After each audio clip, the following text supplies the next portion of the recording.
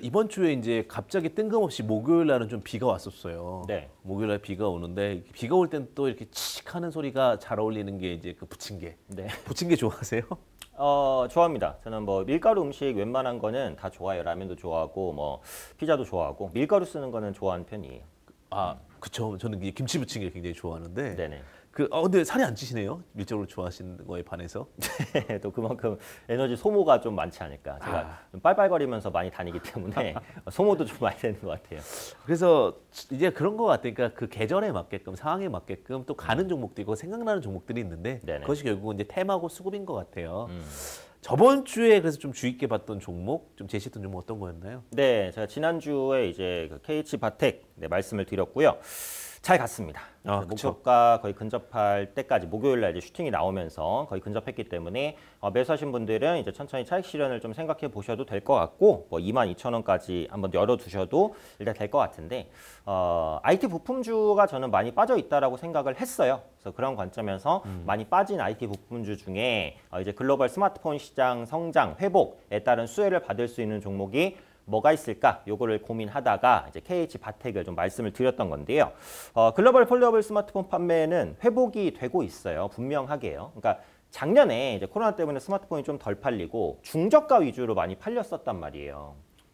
그쵸. 네, 근데 최근에는 이제 플래그십, 그러니까 조금 비싼, 뭐 foldable이 됐던지 간에 어, 이렇게 좀 비싼 가격이 있는 스마트폰의 판매도 회복이 되고 있어요. 그러다 보니까 관련해서 부품을 공급하고 있는 종목군들도 실적이 좋아질 가능성이 높아졌다. 어, 이렇게 보시면 될 것 같고 어, 지난주에 이제 double folding에 대해서 말씀을 한번 드렸는데 오늘 처음 들으시는 분들도 있으실 것 같아서 네. 좀 생소한 용어라서 한 번 더 설명해 주시면 좋을 것 같습니다. 그래서 이제 foldable은 네. 책처럼 접는 거잖아요. 네. 이렇게 한 번 이렇게 접는 건데 double folding은 이제 Z 모양으로 한 번 접고 한 번 더 접는 겁니다 위로. 어. 그럼 이제 두께가 세 배가 되겠죠. 네. 그거를 또 어떻게 극복할 것이냐. 얇게 만들어야 되네요, 또. 그렇죠. 이게 이제 관건이에요.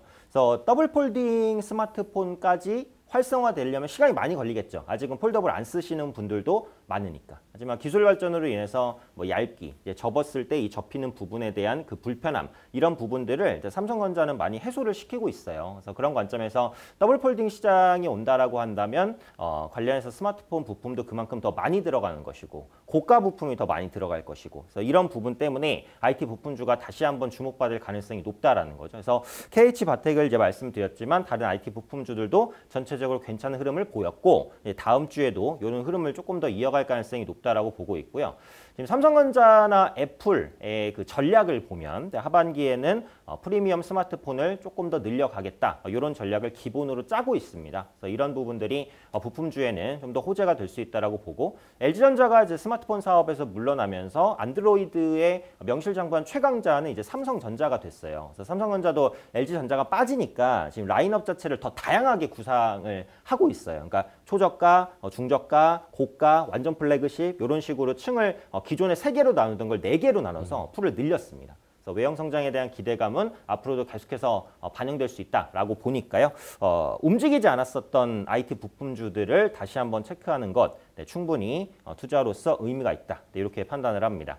그럼 대표님께서는 이제 2주 전에 가지고 나오신 종목 네, 그렇죠. 저는 이제 네, 어떤 이주- 흐름을 보였나요?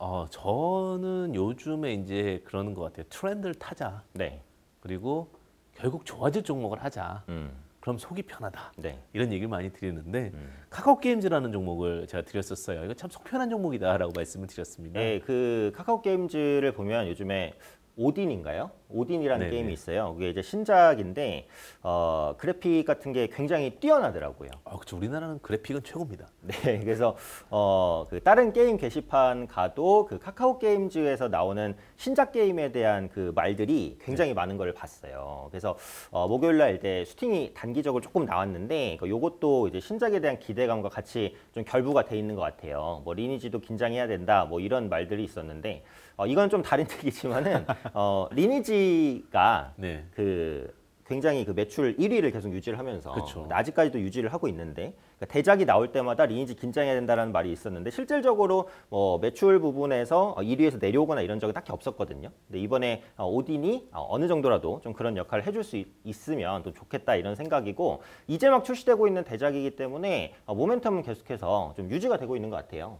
네, 맞습니다. 사실은 이제 게임은 장점이 뭐냐면 한번 개발이 되고 나면 그리고 나서 그 일대 다수가 됩니다. 음. 제조업과 다른 부분은 이게 이제 굴뚝 없는 사업이라고 그러거든요. 음. 수많은 사람들에게 전파가 되기 때문에 처음에만 힘들지 매출액이 기하급수적으로 올라갈 수 있는 로직이 있어요. 네네. 특히 카카오 게임즈 같은 경우는 제가 이제 개발사라는 게 있고 publishing 업체라는 게 있는데 제가 굉장히 주목하는 부분이 publishing 업체라는 부분입니다. 그 시장에서는 굉장히 좀 두각받기도 좋고요. 그다음에 대한민국 하게 돼서 카카오 모르는 사람은 거의 없을걸요. 그렇죠. 오히려 지금은 네이버보다도 카카오를 더 익숙하게 쓰고 있는 부분이 휴대폰 때문에 그렇죠. 네네. 휴대폰에 카카오톡은 대부분 많이 예, 쓰고 있으실 것 같습니다. 그다음에 실적 turnaround라는 부분과 함께 저평가 기대감이라는 부분이 함께 있는 것 같습니다. 차트를 보시게 되면 바닥 구간에서 다지고 나서 올라오기 때문에 그리고 제가 볼 때 이제 리, 그 리니지 대표주자 엔씨소프트 같은 경우는 20조를 넘었습니다. 네네. 근데 지금 카카오 게임즈는 5조도 못 갔습니다. 그렇기 때문에 상대적 평가나 상대적 비교를 했을 때 2분의 1값만 가더라도 제가 볼 때는 장기적으로는 10조까지도 갈 수 있는 어떤 가능성이 있지 않을까라는 생각이 들고요.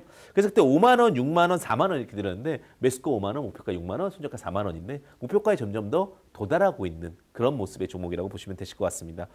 어, 저희도 이제 두 종목 보시면 아시겠지만 이제 트렌드를 좀탈 수밖에 없는 것 같습니다. 네, 그리고 어쨌든 상태적으로 좀 저가 있는 종목을 최대한 말씀드리려고 해요. 왜냐면 시간이 지나서도 저가 종목은 어쨌든 순환매가 돌면서 올릴 수도 있는데, 그러니까 고가 있는 종목들은 아무 이유 없이도 이제 차익 실현이 5%는 7%는 나올 수 있잖아요. 고가에서 물리게 되면은 회복까지는 시간이 너무 길어질 수 있단 말이에요. 그래서 저희는 최대한 이제 밑에 권에서 그렇게 많이 두각받지 못하는 그 시기에 좀 말씀을 어, 드리는 거니까 어, 너무 지금은 고점 종목을 따라잡는 매매가 가장 위험할 수 있어서 어, 그런 부분들은 최대한 주의하시면서 보는 게 어, 좋지 않을까 그렇게 생각됩니다. 어, 저도 그 부분이 공, 공감하는 게 사실 런앤런에서 처음에 갖고 왔던 게 동일고 멜트였어요. 네네.